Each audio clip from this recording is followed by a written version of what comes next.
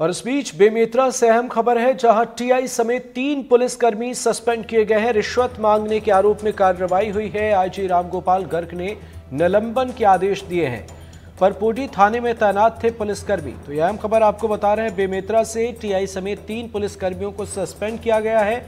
मामला रिश्वत मांगने से जुड़ा हुआ है और रिश्वत मांगने के आरोप के बाद ये कार्रवाई सामने आई है। आईजी रामगोपाल गर्ग ने निलंबन के आदेश दिए हैं परपोटी थाने में ये पुलिसकर्मी, टीआई समेत तीन पुलिसकर्मी जो सस्पेंड किए गए हैं, वे तैनात थे। सहयोगी सुजीत शर्मा हमारे साथ जुड़ गए हैं। सुजीत, बताएँ, क्या है अपडेट? जी हाँ ये पूरा मामला बेमित्रा पुलिस की कार्रवाई पर सवाल खड़े कर रहे हैं, क्योंकि परपुड़ी जो थाना है, वहाँ पर 35 लाख के जो ट्रेडिंग कंपनी की ऑनलाइन ठगी जो है, इसको लेकर जो शिकायत हुई थी, शिकायत के बाद जो टीम थी, टीआई समेत सभी लोग उत्तर प्रदेश, लखनऊ गए थे। जहाँ पर जो है आरोपी को गिरफ़्तार करने पहले उनसे कुछ पैसे की मांग की थी। इसकी शिकायत जो प्रार्थी है, जिसने इसकी शिकायत की थी, उन्होंने इसकी शिकायत स्थानीय स्तर पर की और उन्हें सबूत भी दिए, बकायदा सबूत के साथ पेश किए, जिसके बाद जो है आईजी ने इस पर कार्रवाई करते हुए जो टीआई है वहाँ के प्रमोद शर्मा सहित दो प्रधान आरक्षक और एक आरक्षक को निलंबित कर दिया है। जी।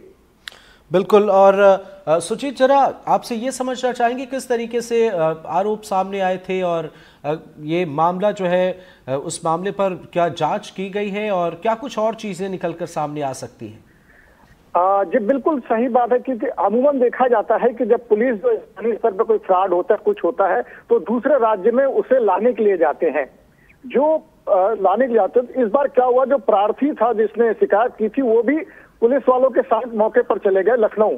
वहाँ पर पुलिस के जो अधिकारी थे, उन्होंने जो है, वो आरोपी है, उनसे साथ साठ घाट कर कुछ पैसे की मांग की, पैसे लिए। इसी दौरान उन्होंने कुछ साक्ष्य सुबह के शायद वो जानकारी भी क्लियर निकल कर नहीं आई है क्योंकि मामला क्या है, लेकिन उन्हें कुछ साक्ष्य दिए और साक्ष्य के आधार पर यह कार्रवाई हुई है कि कहीं ना कहीं पुलिस की कार्रवाई पर सवाल खड़े कर रहे हैं, क्योंकि कई बार ये दूसरे राज्य जाते कहते हैं कि आरोपी फरार हो गया, मिल गया तो ये सवाल खड़े हो रहे हैं पुलिस की भी, मित्रा पुलिस को लेकर। जी। बिल्कुल, सुजीत डिपार्टमेंटल एक्शन है टीआई समेत तीन पुलिसकर्मी सस्पेंड किए गए हैं, नज़र बनाए रखें आप। क्योंकि ज़ाहिर सी बात है कि और कई शिकायतें होंगी जो अभी सामने नहीं आई हैं। फ़िलहाल बहुत बहुत शुक्रिया।